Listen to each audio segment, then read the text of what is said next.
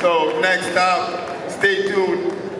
Neo and Tony and uh, Soul Control and Move Beast, stay tuned. So, three, two, one.